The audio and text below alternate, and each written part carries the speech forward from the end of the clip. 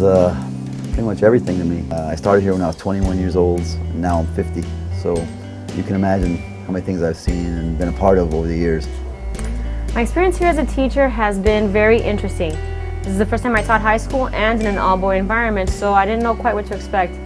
And I was pleasantly surprised. I think the day that, um, that Mr. Pichardo's uh, funeral mass was held here at the school, I mean, I had been here a long time, but I was blown away by the respect that the students showed uh, Mr. Pichardo and his family uh, when his casket was brought through the central patio and students came out their, from their classes and were in complete silence and, and really respected the, uh, just the circumstances and, and, what was going on that day here at the school. I gotta tell you, one of the things that I think really helped to bring you guys together was Art Martinez and you know his whole struggle with cancer throughout the years that he was a student here. They were very loving, that's the only way I can describe it. You know, it sounds kind of gay and stuff, but after going through a day of chemo, I would walk in eighth period and, and everybody would give me a standing ovation and, and it kind of like reminded, you know, reminded me to keep pushing and that people were behind me through the whole process and that everybody was there for me. It really helped me to get through everything. Our, our grade is really something special. Fourth period, um, Mario Santiago, Tuto Moreiras, it was a very full class, remember. And I just started singing the verse of a song uh, by Led Zeppelin and they finished it off. And that's one of those moments that you can't rec recreate and it it's something that happens organically and it's and it's pretty unforgettable. I still remember it and it still makes me smile.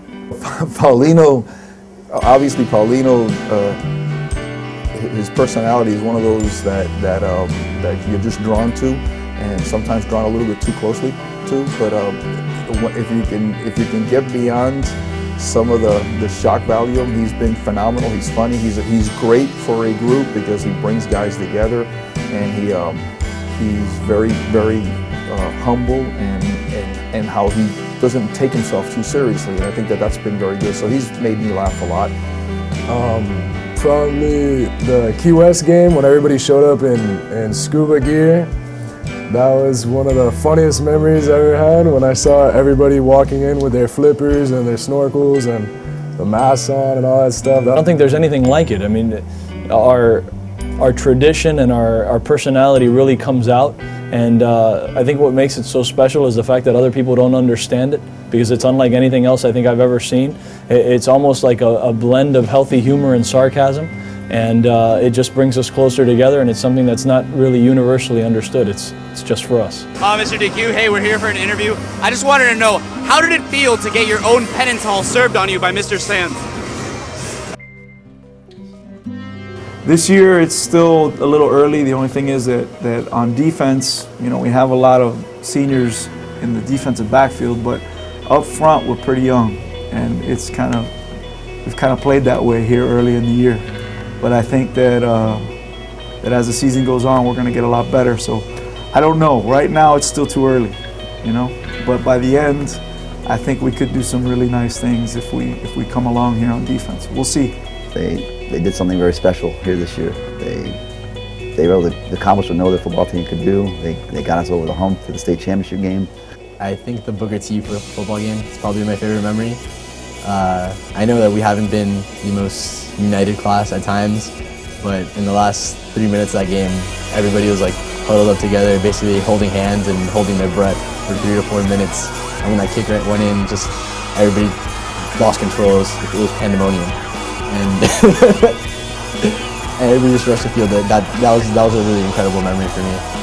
Um, that that really sums up my Belen experience, I guess. That game as a whole, because you have you know the, the family side of it, you have the athletic side of it, you have the unity side of it. You're there with all your classmates, your school, basically, and it was just a, a time that we could all celebrate together. Uh, Reggie, I'll never forget. Um, Reggie at freshman year, Reggie Cola's freshman year, um, a little bit, had, had that little smile but wouldn't let himself go and would be afraid to joke around a little bit, would just smile, just to see him evolve to where he can, he can um, now dish it out himself and not just constantly take it from me, but uh, dish it out.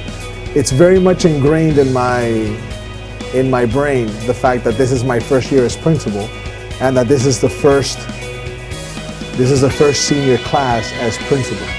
And uh, I gotta tell you, I, I feel to a very large extent somewhat indebted to the senior class because they have made this year, which is normally, I guess, a difficult year because it's the first year, they've made it very enjoyable.